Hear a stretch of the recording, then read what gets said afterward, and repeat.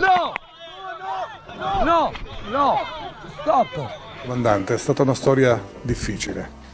Eh, difficile come la vita che ha avuto questa ragazza, ma il vostro intervento può essere una sorta di viatico affinché donne come lei, giovani come lei, che si vengono a trovare in una condizione di sfruttamento, di schiavitù, possano in qualche misura credere nello Stato italiano perché ci sono le istituzioni, come l'Arma dei Carabinieri, da altre istituzioni che sono in grado di salvarle. Ci racconta la storia? Assolutamente sì, come ha giustamente accennato lei, siamo dinanzi a una tristissima vicenda che fortunatamente ha avuto un epilogo positivo. Epilogo positivo costituito da questa operazione svolta dai carabinieri del comando provinciale di Perugia in una bellissima sinergia tra le varie articolazioni che lo compongono. Mi riferisco in particolare alla stazione Carabinieri di Perugia, alla sezione operativa del NOR della Compagnia di Perugia e al nucleo investigativo del reparto operativo Carabinieri di Perugia. Tutto ha inizio nel febbraio del 2016, laddove una ragazza all'epoca dei fatti, giovanissima, poco più che ventenne, viene adescata da, da una conoscente, la quale le propone un viaggio in Italia, laddove sarebbe stata ospitata da un suo referente, il quale si sarebbe fatto carico di tutte le spese del viaggio e che, una volta giunta in Italia, avrebbe provveduto a istradarla ad attività lavorativa, senza null'altro precisare. Dopo qualche momento di indecisione, di debolezza, ovviamente sopraffatta anche da uno stato di necessità che purtroppo eh, ha influito tantissimo su quelle che sono state le sue eh, decisioni, la ragazza non può far altro che accondiscendere e decidere di accettare la proposta mossale. A questo punto, a distanza di pochi giorni, la ragazza viene presentata a un gruppo di soggetti nigeriani i quali avrebbero dovuto a loro volta partire per l'Italia. Tra mille peripezie durate mesi, la ragazza nel luglio del 2016 raggiunge finalmente le coste libiche. Sono quasi mille migranti, i quali vengono trattati in condizioni eh, che definire inumano, inumane è pressappoco un eufemismo.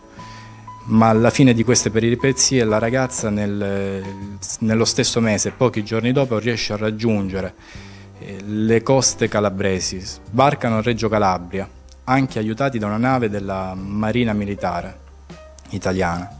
Dalle coste calabresi la ragazza viene trasferita quindi in un centro di accoglienza a Taranto.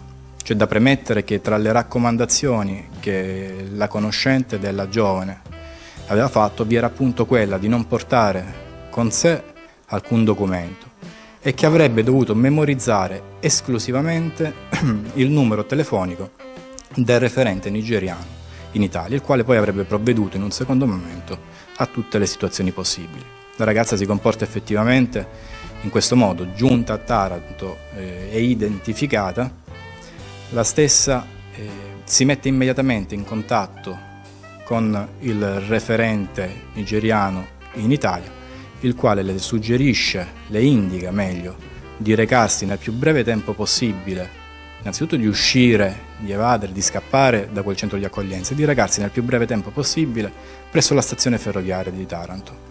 Così effettivamente si comporta la giovane scappa dal centro di prima accoglienza, si reca presso la stazione di Taranto, si mette nuovamente in contatto telefonico con quello che poi si rivelerà il suo aguzzino e, e, e quest'ultimo si reca personalmente a Taranto, proveniente da Perugia, per prenderla e accompagnarla con sé nella sua abitazione perugina. Durante il viaggio la ragazza, ovviamente ancora eh, titubante, chiede quale sarebbe stata l'attività lavorativa che avrebbe dovuto svolgere e come avrebbe potuto fare per sdebitarsi del bene, del bene che il ragazzo le aveva promesso. Il ragazzo tace e riferisce che di tutto ciò avrebbero parlato il giorno successivo. Nella sera stessa di quella giornata giungono entrambi a Perugia, presso l'abitazione di questo giovane, un classe 85 con nigeriano, con regolare permesso di soggiorno e con qualche precedente di polizia. All'interno di questo appartamento presso cui la ragazza viene ospitata vi sono altre due donne sul conto delle quali sono tuttora in corso ulteriori approfondimenti investigativi. All'indomani il buongiorno che riceve la ragazza è la notizia che l'attività lavorativa che avrebbe dovuto intraprendere è l'attività di meretrice, nella zona Pian di Massiano di Perugia. La ragazza tenta in ogni modo di opporsi, scoppia in un mare di lacrime, ma eh, nulla può, perché la minaccia è quella di ritorsioni gravissime, sia nei confronti della stessa, sia nei confronti della sua famiglia di origine in Nigeria. Non ha quindi altre soluzioni, altre possibili scelte in quel frangente. Peraltro il ragazzo le prospetta la necessità di estinguere il debito contratto per farlo aggiungere in Italia, il cosiddetto debito d'ingaggio, ammontante a circa 35.000 euro. La ragazza quindi non può far altro. Viene avviata l'attività di meretrice, scortata, tra virgolette, controllata, vista dall'altra ragazza nigeriana anch'ella prostituta, presente all'interno dell'appartamento. Ogni suo pensiero, ogni suo desiderio viene immediatamente rivelato al suo aguzzino, lei non può fare nulla. Quando questi soldi vengono effettivamente portati a casa, tutto ciò che la ragazza riesce a raccogliere viene ceduto al suo aguzzino, il quale annota i vari acconti su una sua agendina. Nelle circostanze in cui la ragazza purtroppo nulla riesce a portare a casa, la stessa viene malmenata brutalmente dal suo aguzzino. Vive mesi di vera e propria inumanità. Arriviamo quindi al mese di febbraio del 2017, al termine di un violentissimo litigio, se così possiamo definirlo, perché le ripercussioni erano ovviamente univoche nei confronti della povera, la stessa sfruttando un momento di disattenzione del suo aguzzino riesce a scappare di casa e riesce a recarsi da, presso l'abitazione di un conoscente cui, con cui era sorta un'amicizia nei mesi precedenti. Quest'ultimo la ospita per qualche giorno riesce a rassicurarla e riesce a indurla a recarsi dai carabinieri.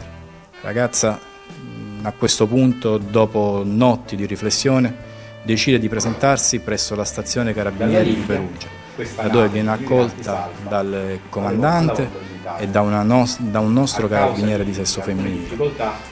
L'accoglienza è ovviamente calorosa, la ragazza viene messa a suo agio e viene fatto in modo che la stessa, nonostante non parlasse una sola parola in italiano, con l'aiuto anche di un interprete, viene messa nelle condizioni di aprirsi a noi, di raccontarci quanto vissuto in quei mesi. Ovviamente non è stato un racconto di immediata percezione perché è stato un racconto veramente difficile e complesso. La ragazza era provata, scossa, piangeva di rotto ed era difficile in qualche modo riuscire ad avere un ordine cronologico dei racconti e un nesso logico dei racconti, ma eh, i carabinieri della stazione sono stati abili anche in questo, nel riuscire pian piano a ricostruire tappa per tappa l'accaduto. Ovviamente poi a denuncia acquisita il tutto è passato alla sezione operativa e al nucleo investigativo composto da militari nelle condizioni per poter poi espletare i dovuti riscontri e accertamenti alle dichiarazioni rese. I reati contestati all'interno dell'ordinanza di custodia cautelare messa dal GIP del Tribunale di Perugia vanno dallo sfruttamento della prostituzione alla riduzione in schiavitù, dalla violazione sulle norme inerenti all'immigrazione alla tratta di esseri umani e ha colpito, come abbiamo visto, il eh, soggetto nigeriano classe 1985 e allo Stato sono, vi sono in corso ulteriori indagini volte ad accertare l'eventuale concorso nelle medesime fattispecie di reato da parte delle altre due connazionali. Attualmente il soggetto tratto in arresto è al carcere di Perugia Capanne, a disposizione dell'autorità giudiziaria mandante.